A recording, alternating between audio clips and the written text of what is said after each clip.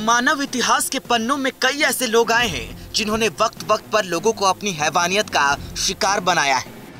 कुछ ने धर्म के नाम पर लोगों की बलि चढ़ाई तो कुछ ने अपने मज़े के लिए लोगों का खून बहाया। कुछ ने ज़मीन के लिए लड़ाई लड़ी तो कुछ ने सोने चांदी के लिए। आज क्राइम तक पर हम आपको दुनिया के ऐसे क्रूर राजाओं के बारे में बताएँगे, जिन्होंने अपनी क्रूरता से इंसानियत को एक दो बार नहीं, बल्कि कई कई बार शर्मसार किया है। ये वो हैवान थे जो मानव सभ्यता के लिए डर का कारण बने। Genghis Khan. चंगेज खान एक मंगोल शासक जो अपने कौशल राजनीति और खूनी आतंक के लिए जाना जाता था, जिसने अपनी तलवार के दम पर पूरे एशिया को जीत लिया था। चंगेज खान ने दुनिया के 22 फ़ीसदी इलाके पर कब्जा किया था और आज कई सौ साल के बाद भी क्रूर शासकों में उसका सबसे ऊपर नाम आता है। Adolf Hitler. जर्मनी का तानाशाह और 60 लाख यहूदियों और 5 लाख आम नागरिकों की मौत की वजह बना। एक ऐसा तानाशाह था जिसने गैर यहूदियों के बीच डर का माहौल बनाकर राज किया।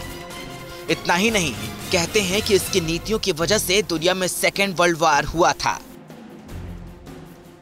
व्लाद टेपस, जिसे दुनिया ड्रैकुला के नाम से भी जानती है। व्लाद टेपस को मानव इतिहास में सबसे क्रूर दंड देने वाले के रूप में जाना जाता है। कहते हैं कि वो लोगों की आंतें निकलवा देता था। इतना ही नहीं, वो अपने महल के पास मैदान में भाले लगी लाशें टंगवा देता था।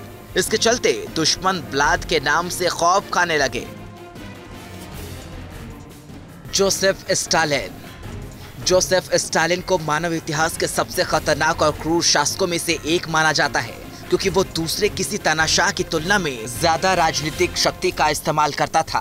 कहते हैं कि उसने अपने शासन के दौरान 20 लाख से ज़्यादा लोगों को मौत के घाट उतारा था।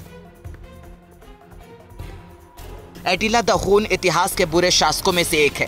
कहते हैं कि ये जहाँ भी हमला करता था, वहाँ किसी भी इंसान को ज़िंदा नहीं छोड़ता था।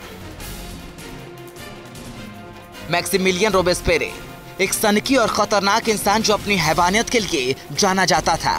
कहते हैं कि ये बिना छानबीन किए किसी भी संदिग्ध व्यक्ति का सिर काट देता था। इतना ही नहीं, सत्ता हासिल करने के लालच में इसने 50 लाख लोगों के सिर काट दिए थे।